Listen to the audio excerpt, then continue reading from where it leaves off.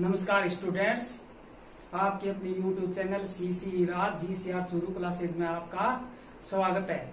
आज का अपना टॉपिक है अर्थशास्त्र विषय के अंतर्गत आंशिक संतुलन एवं सामान्य संतुलन। संतुलन का अर्थ। संतुलन क्या होता है? इक्विलिब्रियम। अर्थशास्त्र में अनेक जगह संतुलन की चर्चा आती है। जैसे उपभोक्ता का संतुलन है, उत्पादक या भ्रम का संतुलन है, उद्योग का संतुलन है, संतुलन कीमत है, संतुलित विनिमय दर है, श्रम बाज़ार या पूंजी बाज़ार में संतुलन है, मौद्रिक संतुलन है, राजकोषीय संतुलन आदि। यानी संतुलन की चर्चा अर्थशास्त्र में होती रहती है। इसलिए संतुलन की अवधारणा से हमें परिचित होना बहुत ज़रूरी है। संतुलन की अवधारणा हमें उस दिशा की ओर संकेत करती है, यानी उस डायरेक्शन की ओर हमें संकेत करती है, जिस तरफ़ आर्थिक प्रक्रियाएँ गतिमान होती है। यानी आर्थिक क्रियाएँ किस ओर जा रही है? किस ओर गतिमान है? संतुलन का महत्व इसलिए नहीं है कि वह वास्तव में प्राप्त हो जाता है, बल्कि इसलिए है कि उसकी तरफ़ जाने की एक प्रवृत्ति होती रहती है। उदाहरण के लिए, एक वस्तु की मांग उस बिंदु पर निर्धारित होती है जहाँ मांग की मात्रा पूर्ति के बराबर हो जाती है। उसे संतुलित कीमत कहती है।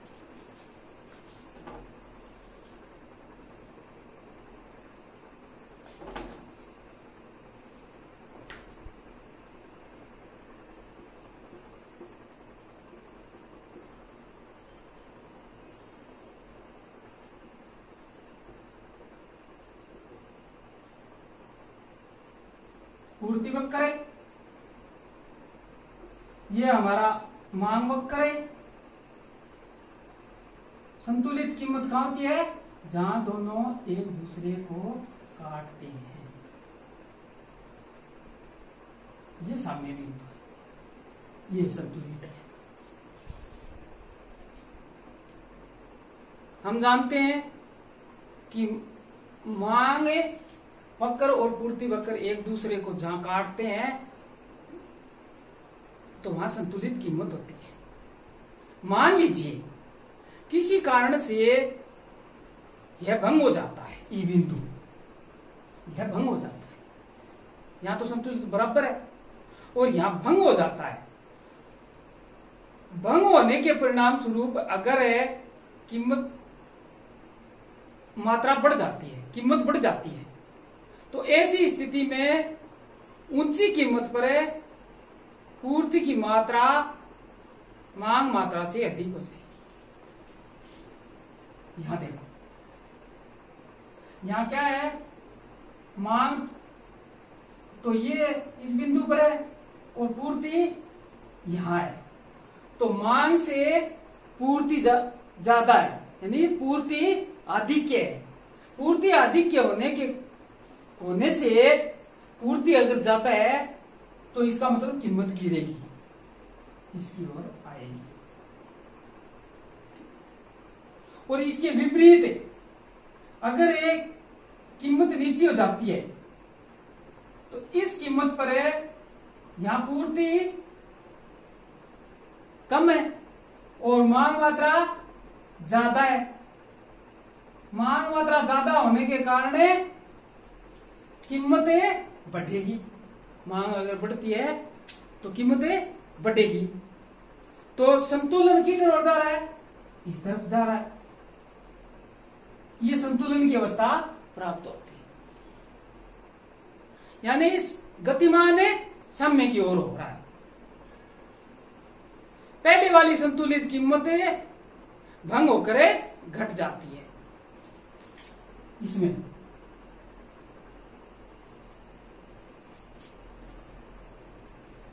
इसमें आर्थिक इकाइयाँ असंतुलन की स्थिति से संतुलन की स्थिति की ओर गतिमान होती है। आर्थिक इकाइयाँ असंतुलन, ये असंतुलन है से संतुलन की ओर गतिमान होती है आर्थिक इकाइयाँ।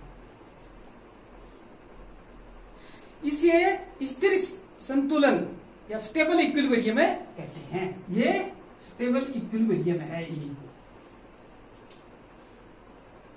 इसके विपरीत यदि संतुलन की स्थिति के भंग होने पर आर्थिक इकाइया इससे दूर चलती जा, चलती जाती है। आगे चली जाती है इधर। इधर। तो उसे अस्थिर संतुलन अनस्टेबल इक्विलिब्रियम कहा जाता है। आगे समझ में? कि अगर इस तरफ़ आ रहा है संतुलन तो ये तो स्टेबल है और इधर इस तरफ़ जा रहा है तो अनस्टेबल है इक्विलिब्रियम संतुलन की चर्चा में हमें अन्य बातों को समान मानकर चलते हैं। Other things remaining the same जैसा कि पहले समझाया है, बताया है आपको कि उपभोक्ता की संतुलन की स्थिति में उसकी आमदनी रुचि है, रुचि। अन्य वस्तुओं की कीमतें आदि को अपरिवर्तित मान लिया जाता है। इसी प्रकार उत्पादक के संतुलन में साधनों की कीमतों टेक्नोलॉजी आदि को स्थिर मान लिया जाता है। अर्थशास्त्र में मुख्यतः हम दो प्रकार के संतुलनों का अध्ययन करते हैं। कितने प्रकार के संतुलनों का अध्ययन करते हैं? दो प्रकार के संतुलनों का अध्ययन करते हैं। एक आंशिक संतुलन है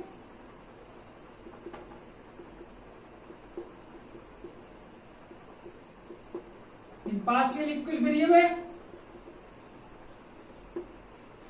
या पर्टिकुलर है इक्विलिब्रियम पहला ये संतुलन है उस संतुलन को कहते हैं, जो एक व्यक्ति की इकाई एन इंडिविजुअल यूनिट एक व्यक्ति की इकाई, और अथवा अर्थव्यवस्था का एक उपभाग, ए sub section of the economy बाहर से उसके लिए दी हुई दशाओं के फलस्वरूप प्राप्त होते हैं। इस प्रकार इसमें दो बातें ध्यान रखने योग्य होती है। आंशिक संतुलन। में प्रथम क्या है? आंशिक संतुलन का संबंध व्यक्ति की इकाई, व्यक्ति उपभोक्ता या व्यक्ति के भ्रम से होता है। अथवा अर्थव्यवस्था के एक उपभाग से होता है, जैसे एक उद्योग। एक उद्योग। द्वितीय।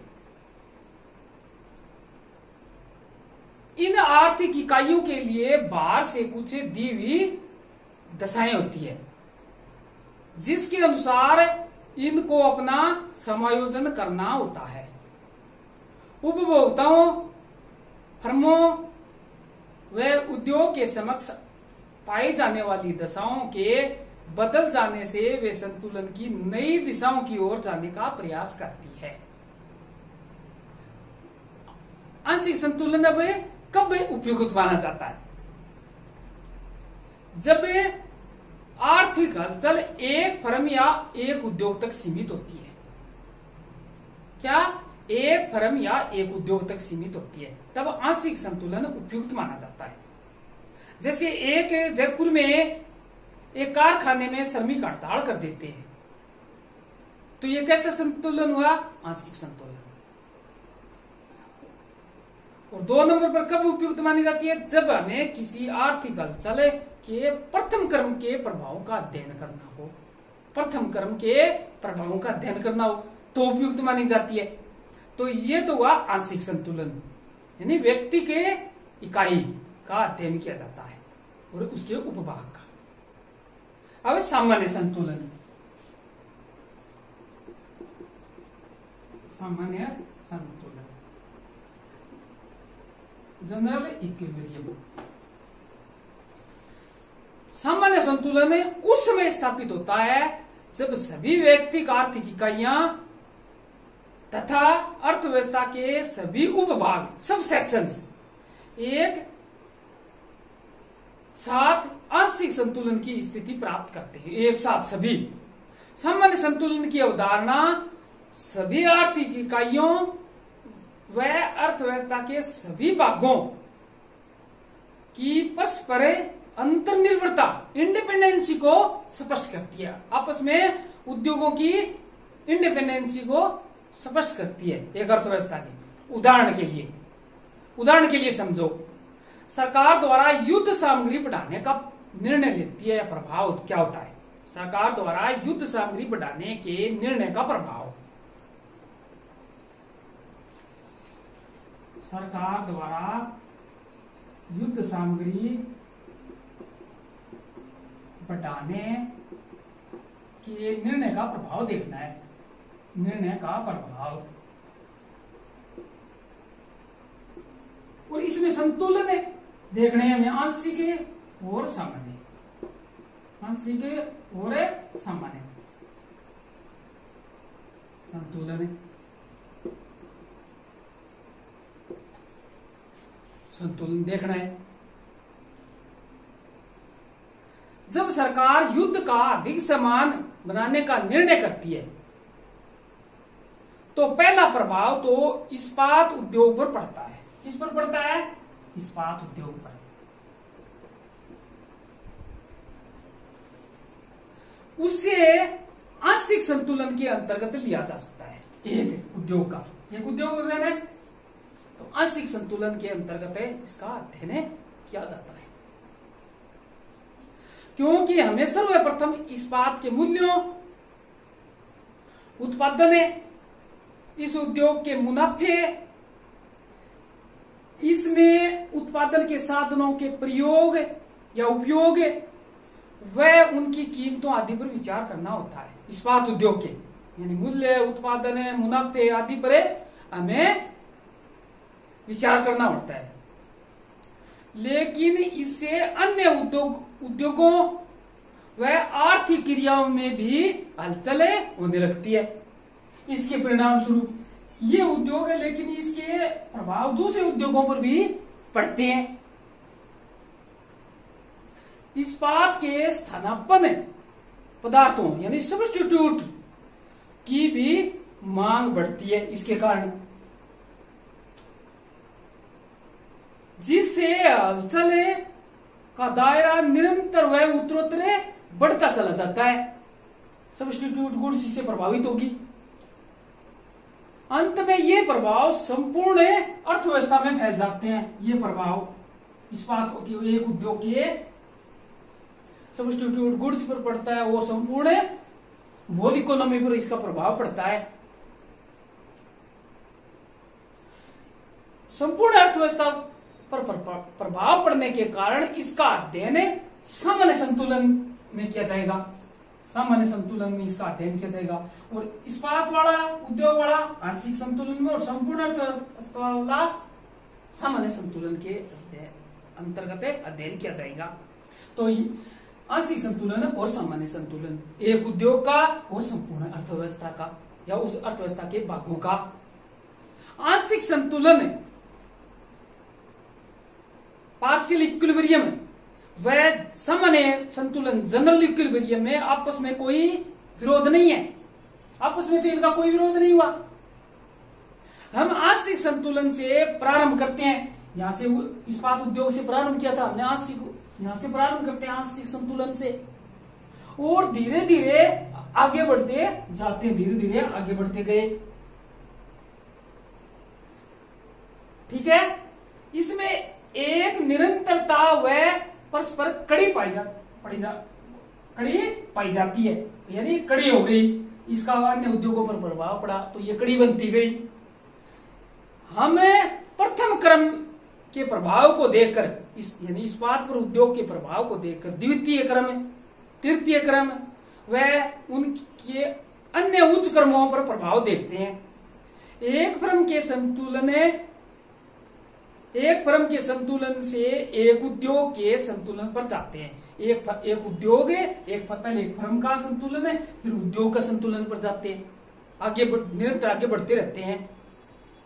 तत्पश्चात पूर्ण प्रतिस्पर्धा में जाते हैं। यानी पहले क्या है? एक फर्म है, उद्योग है, फिर पूर्ण प्रतिस्पर्धा, फिर निजी उद्यम वाली अर्थव्यवस्था का संपूर्ण अध्ययन करके परिणाम निकालते हैं। इस प्रकार आंशिक संतुलन से सामान्य संतुलन की तरफ़ बढ़ने का प्रयास निरंतर जारी रहता है। तो आज हमने क्या पढ़ा? संतुलन क्या है? संतुलन का अर्थ है, और अर्थशास्त्र में दो मुख्य है। संतुलन आंशिक संतुलन है, पार्शियल इक्विलिब्रियम या पर्टिकुलर इक्विलिब्रियम है, और दूसरा है सामान्य संतुलन है जनरल इक्विलिब्रियम है। आंशिक संतुलन में एक व्यक्ति के इकाइयों या व्यक्ति के उपभोक्ता व्यक्तिगत फर्म आदि का अध्ययन करते हैं। और सामान्य संतुलन में आंशिक संतुलन से धीरे धीरे हमें सामान्य संतुलन की ओर चले जाते हैं, संपूर्ण अर्थव्यवस्था का अध्ययन करते हैं। तो आज हम, हमने संतुलन का अध्ययन किया, आपने सुना, इसके लिए आपको धन्यवाद।